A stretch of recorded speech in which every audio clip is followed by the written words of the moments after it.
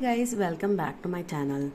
So today this is the third class of crochet with me and we will learn about chain stitches. These are the basic building blocks of your crochet from where you start your crochet stitches. So I have a few chains here kept made with multiple different sizes of yarns and you can see how very nicely these small chains are being made with the yarn. Before we start make, learning how to do the chain stitches, you need to learn how to hold your crochet hook and your yarn. Since I am right handed, I tend to hold my hook in my right hand and the yarn in my left hand. So I'll make a video explaining the different techniques of holding a yarn and hook later. But right now I'll just explain how I do it. Here is how I hold my hook. I hold my thumb on one side and the four other fingers on the other side and as I stitch I move my index finger to the tip of the hook so that I can control my movements more precisely. As you can see in this frame, my index finger is almost near the tip of the hook. My thumb is on one side and the other three fingers on the other side. This gives me a greater precision. Like this.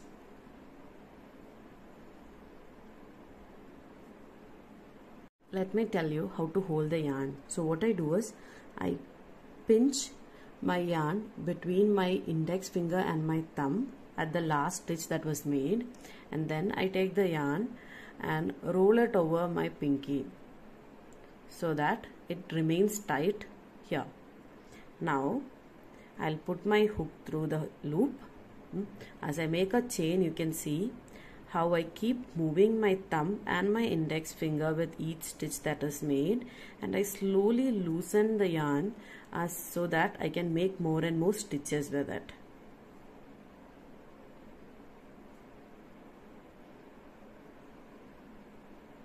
Now that we have learned how to hold our yarn and our hook, we can learn how to make a chain stitch don't really worry about how to use it. Slowly as you keep practicing you will learn how to use it.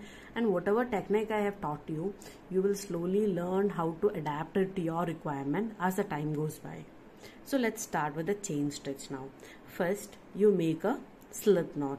If you don't know how to make a slip knot i have a class before this which explains how to make a slip knot. I'll share a link with you so that you can see how to make it. Once you've made your slip knot what you have to do is you have to take your hook put it through the loop that was made then you keep the yarn that is at the working end over the hook and then slowly you pull it through the loop that was made.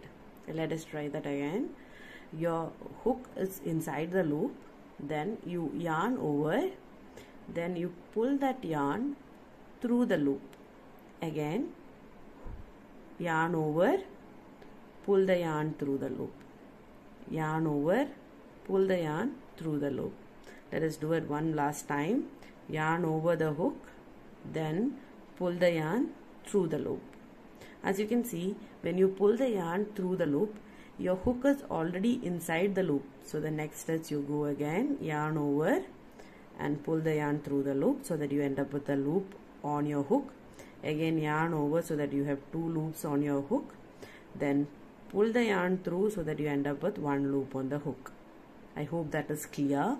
So let's see how it looks. This is how your chain stitch is supposed to look. It is supposed to make nice beautiful chains like this. That's all for today folks.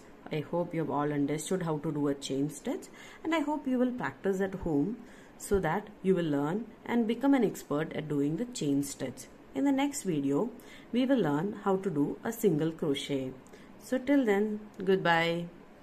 Hope you have a great day.